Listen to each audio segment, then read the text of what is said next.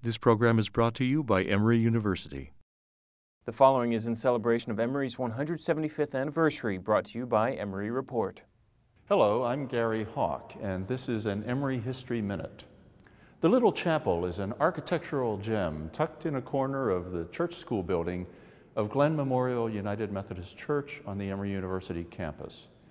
Designed by the famous Atlanta architect Philip Trammell Shutze, it was modeled after one of Sir Christopher Wren's 17th century masterpieces, St. Stephen's Walbrook Church in London.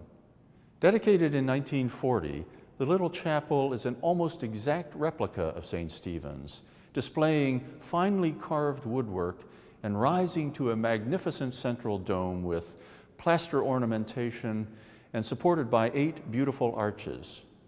The name Little Chapel was bestowed by Flora Glenn Candler, one of the major contributors to Glenn Church, which was named for her father, Wilbur Fisk Glenn, a member of the Emory College class of 1861.